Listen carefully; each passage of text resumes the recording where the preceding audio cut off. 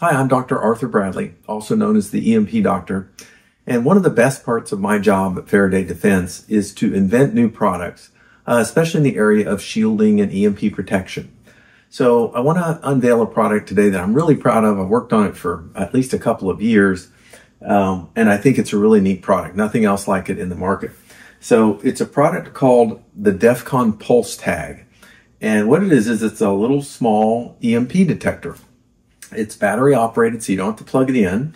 Um, it's made on this like keychain or arrangement so you can hang it on a backpack or on a keychain or whatever. Uh, it's nice and small. It operates on a really small coin cell battery. And I've designed the circuitry in it such that the, it uses so little current um, that the unit will last at least three years on a very small button cell battery. And then you can change out the battery if you ever need to.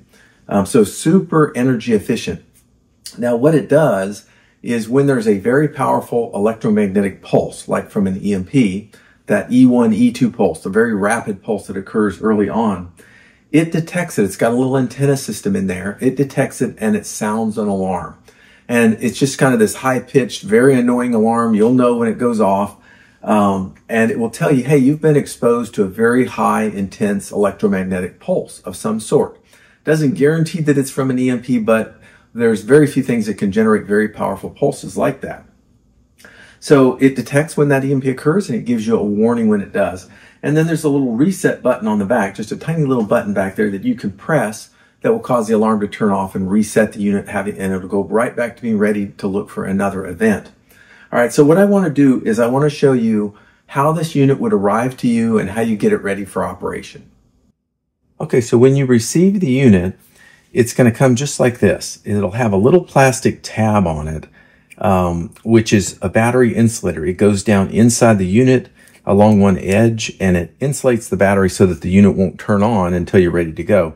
That way it doesn't accidentally turn on before it gets to you. Maybe it gets exposed to something that turns it on and runs down the battery. We don't want that. So it ships to you just like this. The battery is already installed. The circuitry is already installed.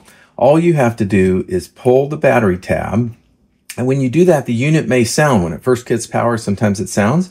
And if that happens, there's a little reset button right here on the back, a little tiny nub, and you'll press that nub and it will reset it. Okay, so we'll see.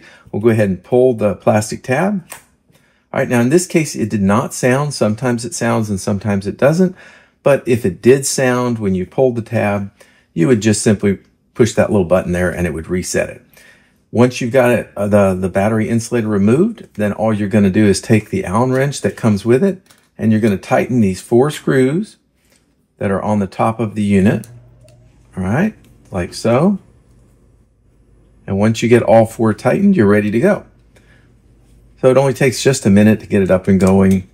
Um, but again, it's important that we ship it with that battery tab installed.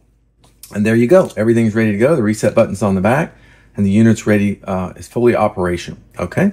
So again, the unit may sound when you pull the battery tab out. If it does, don't be alarmed. Just go ahead and hit the reset button. All right. And there you have it. If in the future you decide you need to change the batteries, maybe a few years down the road, you just simply remove the four screws. The little circuit board just pops right out and you can just change the battery uh, with a standard battery, standard coin cell battery.